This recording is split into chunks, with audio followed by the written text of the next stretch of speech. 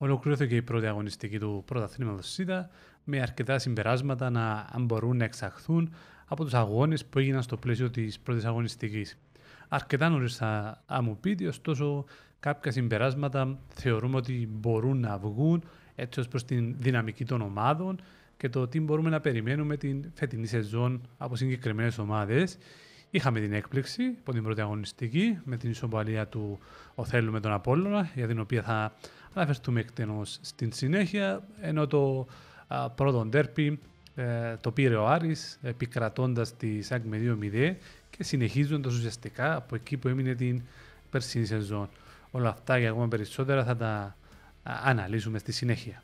Ας ξεκινήσουμε από το παιχνίδι της Πάφου με την Καρμιώτισσα εκεί όπου η ομάδα της Πάφου ε, κέρδισε κατά κράτος την Καρμιώτισσα. Φαίνεται ότι οι ιδιοκτήτες της παφιακής ομάδας το πήραν σοβαρά φέτος και θέλουν να κατακτήσουν το πρωτάθλημα. Άλλωστε, το λέει και ο ίδιος ο προπονητής, ο Χουάν Κάρλος Καρσέδο, μέσα από τις δηλώσεις του και ενισχύθηκαν στην άμυνα με το Ρου, ε, είναι ο Κοβίτα, ενώ ανακοινώθηκε και Ισπανός κεντρικός αμυντικός. Ο Ζουνίνιο έφυγε, ήρθε ο Μποτσκάι, ο Ικόκος συνεχίζει, η Φελίπε, Βαλακάρη και Ζάιρο φαίνεται να βρίσκονται στην επιθετική γραμμή μαζί με τον Τουμάση και τους υπόλοιπους ποδοσφαιριστές με τους οποίους έχει ενισχυθεί η Πάφος και φαίνεται ότι ε, θα είναι από τους σοβαρούς συνδιεκδικητές, δεν αστείευεται, δεν θέλει σε καμία περίπτωση να δερματίσει κάτω από την τέταρτη θέση η Πάφος και το δείξε από την πρώτη αγωνιστική 3-0, καθαρή νίκη, ε, ξεκάθαρα δεν έδωσε κανένα δικαίωμα απολύτως στην Καρεμιώτησα να πιστέψει ότι μπορούσε να πάρει κάτι από αυτό το παιχνίδι. Από την πλευρά της η Καρμιώτησα έδειξε να θέλει ε, χρόνο ακόμα, πολύ νωρίς μεν, αλλά ε, προσωπικά δεν θεωρώ ότι θα μπορέσει να μπει σφίνα στην εξάδα. Ένας από τους σκοπούς που είχε θέσει σε σχέση με το τι παρουσίασε πέρσι, τις προσδοκίες που υπάρχουν γύρω από την ομάδα των, των πολεμιδιών, καθώς δυσκολεύτηκε πολύ να φτιάξει φάσεις, περιορίστηκε στις ε, στα αμυντικά της καθήκοντα δεν ήταν επικίνδυνη απέναντι από την αιστεία της Πάφου, η οποία ε, κατάφερε ουσιαστικά στο πρώτο παιχνίδι της προσαγωνιστικής την Παρασκευή να πάρει μια εύκολη νίκη. Περνώντας τώρα στα παιχνίδια του Σαββάτου, είχαμε μια έκπληξη, ενώ το φαβορή στην άλλη περίπτωση πέρασε κάπως αλόβητο.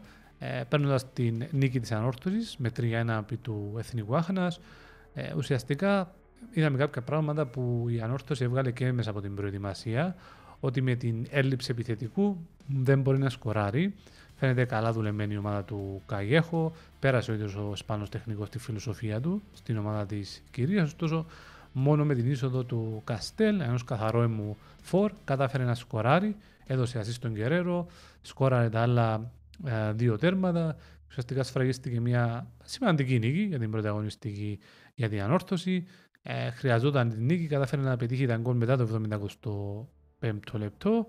Ε, ενσωματώνεται σιγά σιγά και ο Τσίκο, θα είναι και ο Γκασάμα, ένας ποδοσφαιριστής ο οποίος θα βοηθήσει μεσοεπιθετικά. Ενσωματώνεται και ο Τιουνίου, ο οποίος δεν υπολογίζονταν από τον ε, Καγέχο. Οπότε θεωρούμε ότι η ανόρθωση για πρώτη αγωνιστή είχε μια πάρα πολύ καλή και θετική εικόνα και με τον κόσμο στο πλευρό της, ο οποίος ε, θα παίξει το δικό του ρόλο.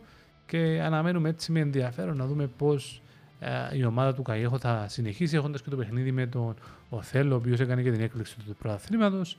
Από την πλευρά του Εθνικός Άχνα ε, έκανε κάποιες ευκαιρίες, ιδιαίτερα με τον ε, Μάριο Ηλία. Έχει πολλές αδυναμίες μεσοαμυντικά. Είναι αρκετά καλός μεσοεπιθετικά. Έχει Μάριο Ηλία, Δημήτρη Χριστοφίου, Πεχλιβάνης, ο οποίος σκόρα από ευθύνη φάουλ. Χρειάζεται να διορθώσει πολλά αν δεν θέλει στο τέλος της χρονιάς να κινδυνεύσει. Απόλλων Οθέλος 1-1, η μεγάλη έκπληξη α, της αγωνιστικής. Η αλήθεια είναι ότι ο Απόλλωνας έκανε α, πάρα πολλές μεταγραφές, πάνω από 10 την φετινή σεζόν, ενώ την ίδια στιγμή αποχώρησαν οι Γιωβάνοβιτς, ένας ίσως ο κορυφαίος μαζί με τον Φαπιάνο τερματοφύλακα στην περσινή σεζόν και ο οποίος ε, είτε με πέναλτι είτε με φοβερές επεμβάσεις στην περσινή χρονιά τον Απόλλωνα σε πολλές περιπτώσεις. Ο Ρομπέος, ένας από τους κορυφαίους κεντρικούς αμυντικούς που πέρασε από το πρωτάθλημά μας, αλλά και ο Γιάννης Πίτας, ο οποίος σκόραρε 18 γκολ, κουβάλισε την ομάδα σχεδόν σε ολόκληρη τη σεζόν στο περσινό πρωτάθλημα και πωλήθηκε στη, στην ΑΕΚ, συνεχίζει την καριέρα του στην Σουηδία. Και θα λέγαμε πω έγιναν οι μεταγραφέ, οι οποίες ακόμη χρειάζονται χρόνο. Ε, δεν είδαμε δηλαδή στον Απόλλο ένα ποδοσφαιριστή που να θυμίζει Ρομπέρς, δεν είδαμε ένα επιθετικό που να θυμίζει ε, Γιάννη Πίτα. Ο Σαγάλ με τον κόρ του φαίνεται να είναι ένας ποιοτικός ποδοσφαιριστής. Ωστόσο, όλοι αυτοί οι παίχτες χρειάζονται χρόνο. Υπήρχε κιόλας νευρικότητα, θα λέγαμε, από τον Πάγκο, από τον Μποκτάν Αντώνιο, ο οποίος ίσως θα χρειαστεί να έχει μεγαλύτερη ψυχραιμία όταν τα παιχνίδια δεν ε, πάνε βάσει του πλάνου του. Την ίδια στιγμή που ο Θέλος Αθιένο παρουσίασε ένα πάρα πολύ καλό αγωνιστικό πρόσωπο. Πραγματικά κέρδισε τις εντυπώσεις η ομάδα του Αλέξη Αρπόζη. Ε, πήρε την ισοπαλία, έπαιξε κατά διαστήματα πολύ καλό ε, ποδόσφαιρο και ναι, να δούμε αν θα συνεχίσει με αυτόν τον τρόπο από τις ομάδες ε, του θεωρητικά κάτω γκρουπ ήταν αυτή που πραγματοποίησε την καλύτερη εμφάνιση και σε θέμα διάρκειας και σε θέμα αποτελέσματος και θα έχει μεγάλο ενδιαφέρον να δούμε στο παιχνίδι με την ανόρθωση τι πρόσωπο θα παρουσιάσει. Και πάμε στην Κυριακή, στο μοναδικό παιχνίδι το οποίο διεξήχθη στο Αμόχωστο, ανάμεσα στην ΑΕΣ και το ΑΠΟΕΛ. Το ΑΠΟΕΛ με αρκετές αλλαγές ε, λόγω και του ευρωπαϊκού παιχνιδιού που ακολουθεί την Πέμπτη για το οποίο θα αναφερθούμε.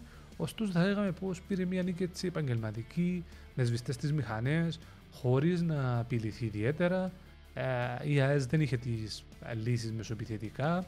Δεν μου φάνηκε να είναι ε, ούτε στο βαθμό δημόδιας που θα ήθελε η ομάδα από το Ζακάκι, ούτε μπορούσε να κοντράρει. Τουλάχιστον αυτό φάνηκε μέσα από το παιχνίδι το ΑΠΟΕ. Την ίδια στιγμή που οι Γαλαζοκίτρινοι, ε, έχοντας ως πρωταγωνιστή τον ε, Μαρκίνιος, ο οποίος πέτυχε για τα α, δύο τέρματα, κατάφερε να πάρει μια εύκολη νίκη. Ο Σαπίντο έκανε τις δικές του αλλαγές και ε, ξεκίνησαν με το δεξί την πρεμιέρα Γαλαζοκίτρινοι και ετοιμάζονται πλέον για τον πολύ σημαντικό αγώνα με την Γάντι για τα playoff του Conference League. Έχει ποδοσφαιριστές ε, το Αποέλ, οι οποίοι δίνουν τις λύσεις μεσοπιθετικά. Στο προηγούμενο ευρωπαϊκό παιχνίδι ήταν ο, ο Εντογκαλά, τώρα είναι ο, ο Μαρκίνιος. Σε κάποια άλλα μπορεί να είναι ο Κουβιλιτάια. Ε, υπάρχουν ποδοσφαιριστές στο Αποέλ που δίνουν τη λύση. Σε άλλο ένα αγώνα ήταν ο Εφρέμ και διαχειρίζεται μέχρι στιγμής το ρόστερ σε αυτές τις πέντε πρώτε αγωνιστικέ, τις τέσσερις για το Ευρωπαϊκό και τη μία του προαθήματο πάρα πολύ καλά ο Σαπίντο με τον κόσμο να δείχνει ικανοποιημένος από τη μέχρι τώρα ε, πορεία του ΑΠΟΕΛ. Και προχωράμε στα παιχνίδια της Δευτέρας. Τρεις αγώνες. Ε, ομόνια Νέα Σαλαμίνα 4-0. Ξεκάθαρη νίκη ε, για την Ομόνια. Δεν χρειάζεται και πάρα πολύ ανάλυση. Ε, η Ομόνια ήταν πολύ καλύτερη στο γήπεδο. Απειλήθηκε ελάχιστα. Ε, Κορυφαίος ήταν ο Κακουλής, ο οποίος πέτυχε δύο πολύ ωραία τέρματα συνεχίζει το μεσοεπιθετικό της κομμάτι από εκεί που έμεινε στα ευρωπαϊκά ε, η ομάδα της Λευκοσίας. Οι πράσινοι φαίνονται να έχουν φαντασία, πλουραλότητα, πλουραλισμό ε, στο πώς δημιουργούν επιθέσεις και ο Σεμίδη ήταν αρκετά καλός από τα αριστερά. Η Νέα Σαλαμίνα δεν είχε τις απαντήσεις. Πολύ πίεση από την ομόνια. Ε, ομάδα του Αυγουστή, αυτό που του αρέσει να βλέπει, ξεδιπλώθηκε στο γήπεδο. Χειροκροτήθηκε και η ομάδα από τον κόσμο και θεωρούμε ότι η Ομόνια δείχνει να είναι μια σοβαρή ομάδα η οποία και με τις επιπλέον προσθήκες που θα κάνει ε, θεωρούμε πως θα είναι από τις ομάδες που σαφώς το γκρουπ της πρώτης εξάδας ε, θα είναι εκεί και θα είναι πολύ δύσκολο ιδιαίτερα να, αντιμετωπίσει, να την αντιμετωπίσει κάποια ομάδα στο, ως προς το μεσομυντικά, ως προς το μεσοπαιδευτικό της κομμάτι που δείχνει να είναι και το δυνατό της οπλό. Στη Νέα Σαλαμίνα ανασυντάσσονται, μαζεύουν τα κομμάτια τους, ακολουθεί το παιχνίδι με τον Απόλλωνα, θα πρέπει να βρουν τα πόδια τους. Μεσοαμυντικά η ομάδα της αμοχώ του δεν τα πάει και τόσο καλά. Δέχεται πολλά γκολ και στα φιλικά και καλεί τον Χριστόδουλο Χριστοδούλου να βρει τις λύσεις. Ε, δόξα ΑΕΛ, ο κόσμος πήρε το παιχνίδι πραγματικά. Ο, οι οπαδοί της ΑΕΛ ήταν απίστευτοι στην Περιστερώνα, γέμισαν, έκαναν κατακίτρινο το πέταλο και ένα γκολ του Μάρσε ήταν αυτό που χάρισε την νίκη στην ομάδα της Λέμεσου. Δεν διεκδίκησε δάφνης ποιότητας στο παιχνίδι. Η άλλη είχε την ουσία. Η Δόξα δεν απείλησε παρά μόνο με μια ευκαιρία του, α, του Σέλι. Βλέπουμε μια σκληροτράχυρη ομάδα. Έτσι θα είναι η ΑΕΛ, έτσι την αναμένουμε. Να δυσκολεύεται οποιαδήποτε ομάδα απέναντι να φτιάξει επίθεση. Θα πρέπει να διορθωθεί όμως μεσοεπιθετικά που ναι, μεν βρήκε δύο δοκάρια προς το τέλος του παιχνιδιού, αλλά χρειάζεται ακόμη δουλειά μέχρι να φτάσει στο επιθυμητό επίπεδο, ιδιαίτερα απέναντι σε πιο ποιοτικούς αντιπάλους. Και κλείνουμε με το ντέρπι για την πρωταγωνιστική του προαθλήματο Άρης Σάικ. Ο Άρης συνεχίζει από εκεί που έμεινε την περσινή σεζόν. δείχνει ότι δύσκολα θα κατέβει από τον θρόνο του και αν θέλει κάποιος να το κατεβάσει θα πρέπει να καταβάλει μεγάλη ε, προσπάθεια. 2-0 επί της ΑΕΚ, καλύτερος στον αγωνιστικό χώρο. Μεσοεπιθετικά πετάει φωτιές. Κάποια θεματάκια μεσοαμυντικά υπάρχουν, υπήρχαν από τα ευρωπαϊκά και συνεχίζουν να υπάρχουν με ατομικά λάθη, τα οποία δεν στήχησαν στο παιχνίδι με την ΑΕΚ, αλλά στήχησαν στα ευρωπαϊκά παιχνίδια και ε, είναι θέματα που καλύτερα να διαχειριστεί ο Άρης ιδιαίτερα και εν ώψη του εκτός έδρας παιχνιδιού με την ε, Σλόβαν στην ε, Σλοβακία. Και περνάμε τώρα στα ευρωπαϊκά παιχνίδια να δούμε τι είναι αυτό που χρειάζεται, θεωρούμε, να κάνουν οι δύο ομάδες μας για να πάρουν την υπόκριση στην επόμενη φάση. Ξεκινώντας από το, από το παιχνίδι που, που έχει το Αποέλ με την Γάντι. Γάντι Αποέλ. Ένας πολύ πιο, πιο δύσκολος αντίπαλος που καλύτερα να αντιμετωπίσει το Αποέλ, γαλάζιο κίτρινο μέχρι στιγμής. Και από αυτά που είδαμε μέχρι τώρα από την ομάδα της Λευκοσίας είναι ότι το δυνατό τους όπλο είναι η μεσομετική τους ε, γραμμή. Δύσκολα δέχεται τη τέρμα του Αποέλ, τη στιγμή που φαίνεται να βρίσκει τρόπους να πετυχαίνει τέρματα όχι τόσο από τους επιθετικούς, αλλά από άλλους ποδοσφαιριστές και με διάφορους τρόπους. Είτε αυτό είναι στημένο, είτε αυτό είναι πέναρτη, είτε ε, είναι από μια μπαγιά. Οπότε το πρώτο σίγουρα που καλείται να προσέξει το ΑΠΟΕΛ είναι μέσω μυντική του λειτουργία. Δεν θα έχει στη διάθεση του τον α, Σαρφό, α, ο οποίος δεν μπορεί να ταξιδέψει το Βέλγιο. Επιστρέφει όμως ο, ο Κρέσπο, μια πάρα πολύ σημαντική επιστροφή. Είχε τιμωρηθεί με α, δεύτερη κίτρινη κάρτα στο προηγούμενο παιχνίδι το ευρωπαϊκό α, του ΑΠΟΕΛ. Δεν αγωνίστηκε στο παιχνίδι στο ΓΑΣΥΠΗ και θα πρέπει να είναι ιδιαίτερα προσεκτικός και κοινικός στις ευκαιρίες που θα του παρουσιαστούν. Είναι μια μεγάλη ευκαιρία.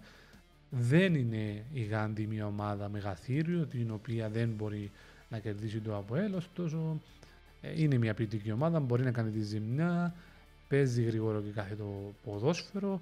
Θεωρούμε πως το ΑΠΟΕΛ όμως, ε, κάνοντας ένα ε, καλό παιχνίδι και με τον Σαπίν τον επιλέγει το ε, ανάλογη και κατάλληλη ενδεκάδα αυτό το παιχνίδι μπορεί να πάρει ένα προβάδισμα που θα του δίνει τις απαραίτητες ελπίδες για να πάρει την πρόκριση στο GCP. Ε, αν φέρει το παιχνίδι στο GCP θεωρούμε ότι εύκολα ή δύσκολα θα το πάρει, δεν είναι η πρώτη φορά που το κάνει οπότε ε, έχει όλα τα, τα εχέγγυα για να το καταφέρει εφόσον πάρει το αποτέλεσμα που χρειάζεται.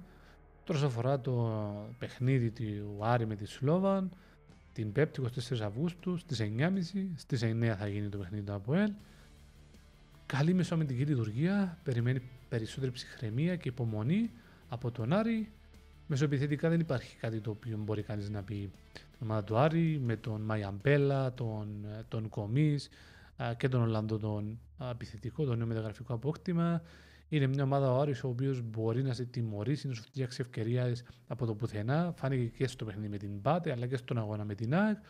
Ωστόσο, μπορεί και όλα στην ίδια στιγμή να δεχτεί ε, πολύ εύκολα και αυτός ο γκολ. Οπότε, αν είναι κάτι που πρέπει να προσέξει ο Άρης, είναι σίγουρα την μεσοαμυντική του λειτουργία και την ίδια στιγμή ε, μεσοεπιθετικά ε, να είναι ουσιαστικός για να πετύχει ίσως τον γκολ που θα φέρει εκείνο το αποτέλεσμα το οποίο θα διαχειριστεί εν ώψη του επαναληπτικού στο ΑΜ.